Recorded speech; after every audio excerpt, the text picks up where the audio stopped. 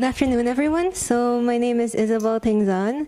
I'm a machine learning researcher at Thinking Machines Data Science, and today we'll be sharing with you our work on uh, mapping Philippine poverty using machine learning, satellite images, and open geospatial data. So just a quick background about who we are as a company. Um, so uh, we are a young data science startup company based in the Philippines. Um, we've worked with a number of clients from both the public and the private sector, um, notably the World Bank, UNDP, National Anti-Poverty Commission, and right now we're partnering up with research institutes and local universities with the goal of advancing research and development in the Philippines. Oh, oops.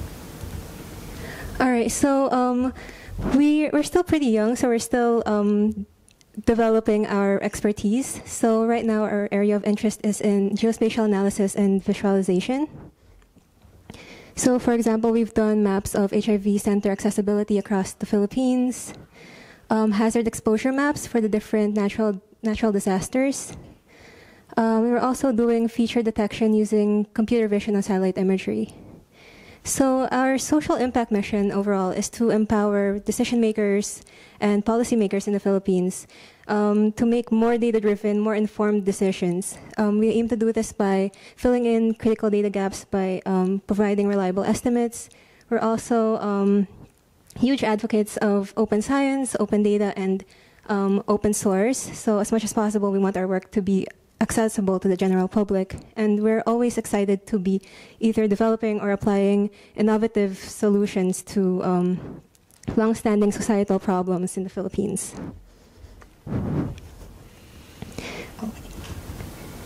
So in 2018, we were chosen as one of the AI cohorts under the UNICEF Innovation Fund. Um, so um, this was discussed by Vedran a while ago.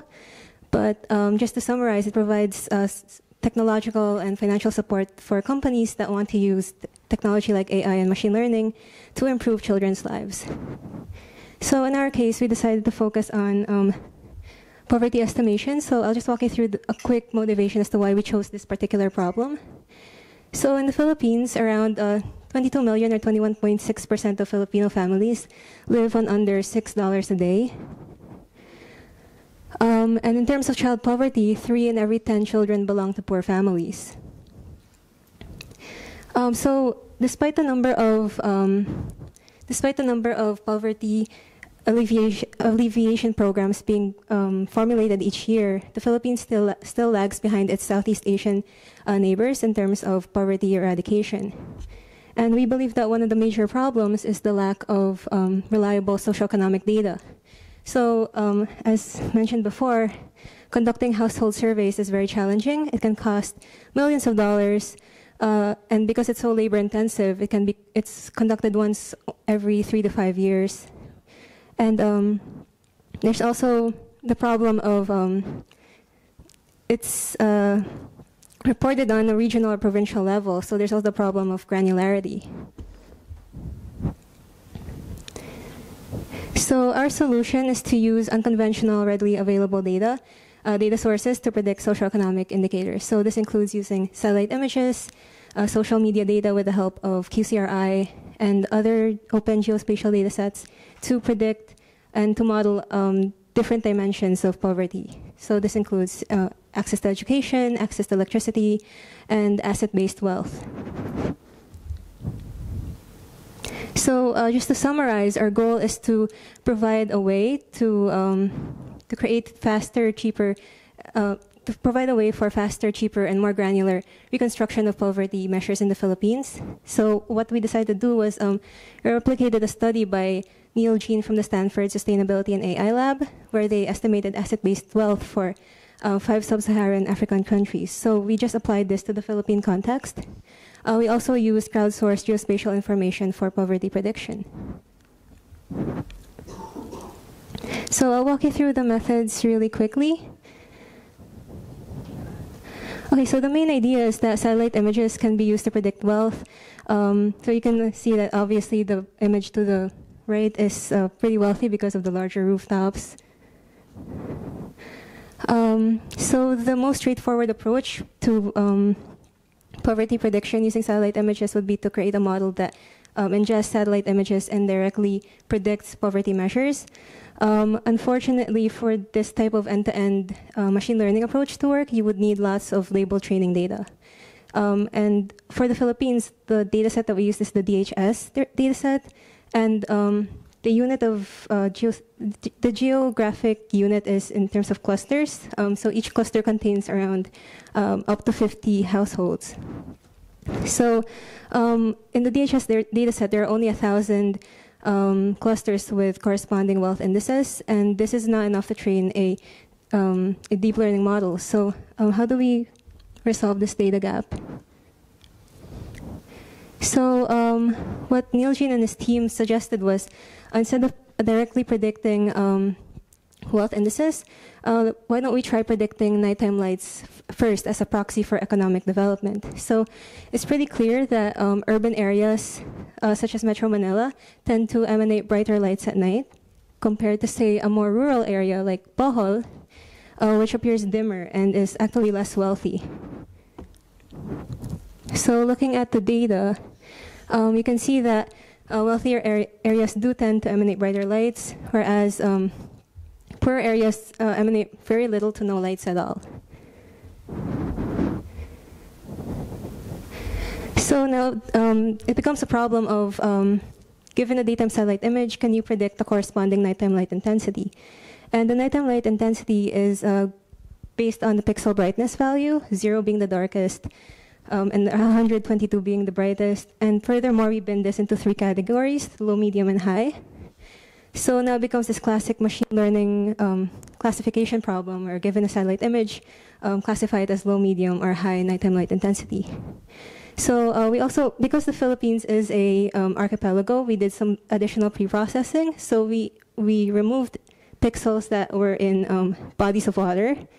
Um, we also removed pixels that had no human settlement, and we relied on um, the human settlement, the, the high resolution um, settlement layer provided by Facebook Research. So thanks, Andy, for that. Um, so um, we, so um, for this model, we used a CNN to as a feature extractor. So, um, so that's the first steps. But what we're actually interested in is, is wealth prediction. So um, for each cluster, um, you can actually get the cluster centroid, which is just the average latitudes and longitudes of the household. Um, and then for, for, each, for each cluster centroid, you can um, get a number of tiles surrounding it and pass that to the first model and extract features, uh, feature embeddings. And then for each, uh, so for each image, you now have a corresponding feature embedding. You can just average the element-wise, and and thus you you get um, for each cluster, um, you, you, you get. Uh, corresponding cluster level feature embeddings, and then you can use that to predict wealth.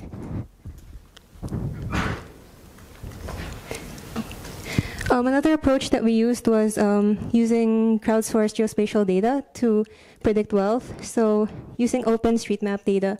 Um, well, just a bit of background on OpenStreetMap data. It's a type of volunteer geographic uh, information platform where volunteers can upload their um, where vo volunteers and on-the-ground surveyors can, up can upload uh, information on ge different geographic areas. So from this data, we engineered a number of features related to roads, um, buildings, and points of interest, and just fed that to the model. So, um, so how accurate were our predictions? Uh, we were able to explain around 62.4% of the variance. Um, this is using CNN features with regional indicators. Um, so just for context, in past literature, the the um, the R squared range ranges from around uh, 0.51 to 0.75 for sub-Saharan African countries, Haiti and Nepal. So we're somewhere in between. Um, and then in reconstructing provincial level maps, uh, so we aggregated the, the cluster level um, predictions and we, we tried to reconstruct um, aggregate provincial level maps. And we can see that to some level of accuracy, we, um, it can be done. Um, but but this is still very coarse grained. So what we're actually more interested in is high resolution, more granular um, predictions. So what we did was we zoomed into one province, and um, uh, so for this example, we we chose Pampanga. So just a bit of background on Pampanga. Um, Pampanga is the eighth richest province in the Philippines. Um, only 5% of the families are, predict, are estimated to be poor. So, um, knowing those statistics alone doesn't really tell you um, where these uh, vulnerable communities are. So, what we did was um, we, we took the province of Pampanga, we, we divided into 18 square kilometer tiles, and then we did wealth predictions for each tile. And what we were able to, to find was uh, we identified this particular area, for example, in that red, um, the red area there. So that is actually the village of Sapang Uwak in Porac. And um, when we cross-checked it with other survey data, um, we found that it's actually poorer than 76% of the Philippines. And the poverty levels here are more similar to areas in southern Mindanao, which are, um, which are um, conflict-ridden. And then just a few kilometers away, we have um, this uh, the blue area, which is the city, uh, Angeles City, which is among the country's 10%, which is among the country's 10% wealthiest areas, and it's more at par with areas like Metro Manila and uh, Pasay and Taguig. So it's interesting to see the um, different distribution of, of poverty here. So just some limitations of this method. Um, it's difficult to distinguish between different levels of extreme poverty for areas with little to no electrification. Um, it's also difficult to predict other aspects of human development. So we did try predicting um, access to water, ac um, access to education, child mortality. Uh, we weren't able to predict it as well as we did for um, for wealth, and we believe that this might probably be because there's no clear relationship between these variables and um, and nighttime lights. And finally, we would like to emphasize that poverty estimates are not meant to replace on-the-ground surveys, but more, more like to augment it. So uh, moving forward, um, uh, we are looking to do more research collabor collaborations with our partners. So right now we're working with um, QCRI on using social media data to and, and other alternative data sources to mo model poverty. We're also looking to um, explore other methodologies. Um, we're also looking to use, uh, we're also looking to model other indicators such as socioeconomic resilience to disasters, uh, child malnutrition rates. Unfortunately, um, like in previous presentations, um, one of the biggest challenges is finding reliable granular ground truth data. And finally, um, what we really want out of this project is real world impact. So, um, so right now we're collaborating with public, the public sectors, so um, and uh, non-government organizations, local government units.